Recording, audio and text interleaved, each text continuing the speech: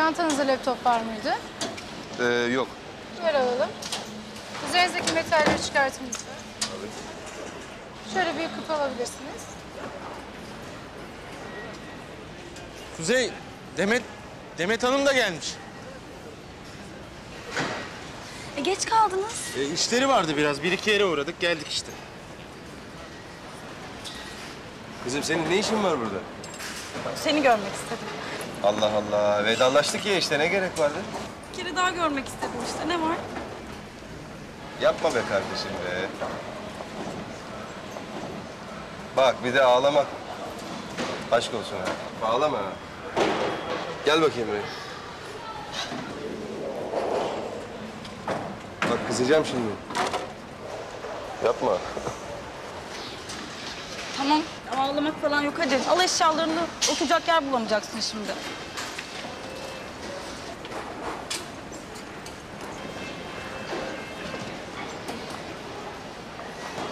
Ver ver. Ya tamam taşıyorum. Ya ver komiseri. Cemre'yi aradın mı? Yok. Ben dün uğradım. Ha. Sen mi haber verdin bugün gideceğimi? Ne oldu ya? Anlaşıldı.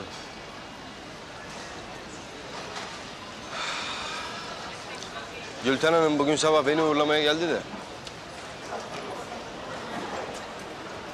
Konuştu işte biraz, günah çıkardı falan. Ben yiyecek bir şeyler almaya gidiyorum. Özel bir şey isteyen var mı? Yok sağ ol. Eyvallah. Ee, E'si konuştu işte. Diyor ki sen diyor iki önce diyor telefon açıp da aradığın zaman ben diyor Cemre'nin telefonuna baktım. Ben diyor sizi konuşturmadım. Ama bunları sen sakın Cemre'ye falan gidip söyleme şimdi. Kız annesiyle konuşur, arası bozulmasın. Yani olan olmuş bir mevzu. Ayrıca kadın haklıydı. Ha, eğer konuşsaydık veya engellememiş olsaydı ne olurdu?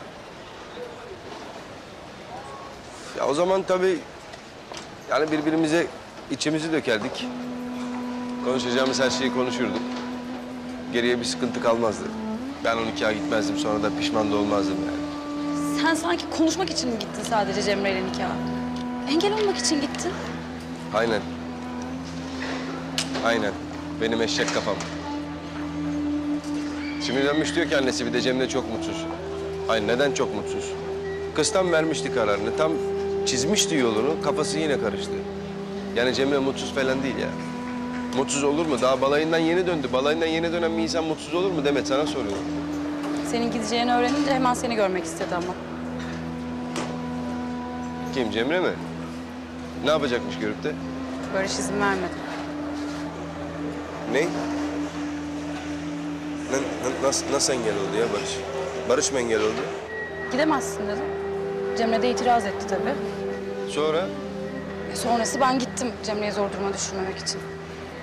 Gülten Hanım kaldı. Ama inşallah büyümemiştir mevzu. Yani akşam da aradım açmadı telefonunu. Cemre'ye bak sen ya. Yani bu iş mi? Konuşacak ne kaldı ki? Ya bak o herifi ya... Bu Ba- Barış Akmen denen adam onu kestiğim tırnak kadar sevmiyorum. Onu zaten söylemeye gerek yok ama en nihayetinde o Jöle onun kocası. Anladın mı? O karakolda da bana döndü bağırdı ya. Bizzat yani onun gözlerinin önünde dedi ki ya bizden uzak dur dedi. Sen niye hala bu adamın damarına basıp da böyle hareket ediyorsun ki? Ben onu anlamıyorum. Sadece bu son olaylar yüzünden değil ki. Barış bence sizi biliyor. Cemre anlattı bence seni.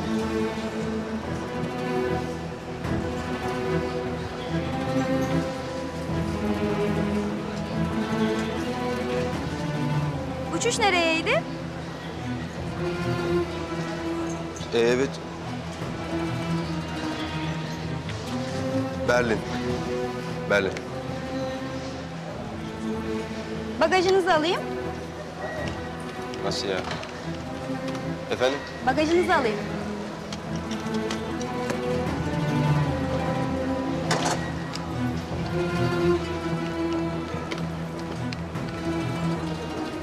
O yüzden izin vermedi Cemre'nin seni görmesine. Ben pa- pardon pardon. Ee, bunu ben el bagajı olduğu için kendim götürmeyeceğim yani. Vermeyeceğim uçağa. Tamam bunu yapıştırmak zorundayız beyefendi.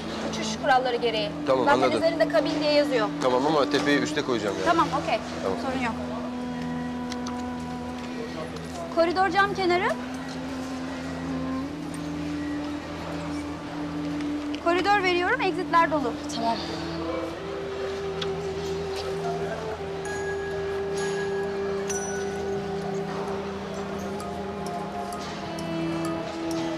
Cemre, Açsana. Kuzey açsana.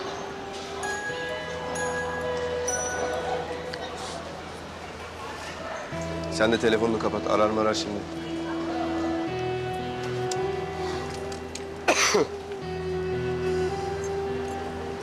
Trafik tabii olur ablacığım. Baksana Niğde'de boşluk var. Hop yap kuleyi, yap kuleyi. Bizimkiler hep toprağın üstüne çalışmış. Hiç toprağın altını düşünen yok. İyi yolculuklar. Teşekkür ederim, sağ olun. Bir Allah'a ısmarladık deseydim bari. Ayıp ya. Sen benim yerime dersin, problem yok. Halloldu mu? Evet, halloldu. Poğaça aldım size. Sağ ol. Eyvallah. Ee, e, ne yapalım? Hadi gelin şurada bir çay ısmarlayayım size. Sen şimdi bu yerin altına yedi katlı metro yapsan da bu İstanbul'un trafiği çözülmez. Neden? Ben sana söyleyeyim. Çünkü bizim halkımız toplu taşıma kullanmıyor. İlla herkes araba alacak.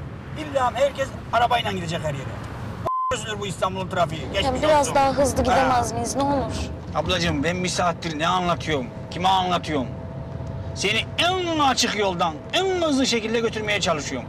Sen ne iş yapıyorsun abla affedersin? İşsizim ben. Oo bak o kötü. İşsizlik kötü. Eskiden böyle dertler yokmuş. Ne demiş atalarımız?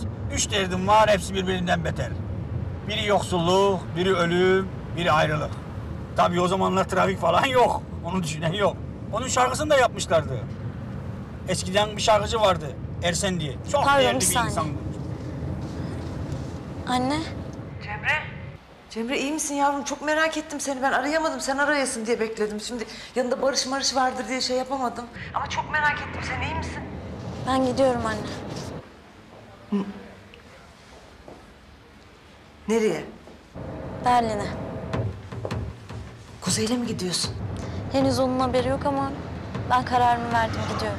E Barış. Barış ne olacak? Belki çok öfkelenecek, büyük olay çıkaracak ama hiçbir umurumda değil. Cemre. Anne Kuzey nasıl olsa kurtuluyor buradan. Artık Barış ona istese de zarar veremez. E benim de bir engelim kalmıyor o zaman. Cemre. Kuzey yüzünden mi döndün sen? Seni Kuzey'le mi tehdit etti? Ne yaptı? Anne tamam şimdi bunları konuşmanın alemi yok.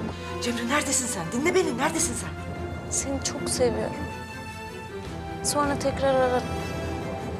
Beni merak etme tamam mı?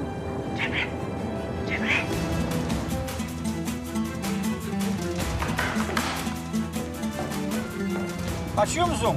Bizim köyde bir Nurten abla vardı. O da bir akşam anasına böyle notu yazmış. Hop kaçmış gitmiş. Kanalımıza abone olarak tüm videolardan anında haberdar olabilirsiniz.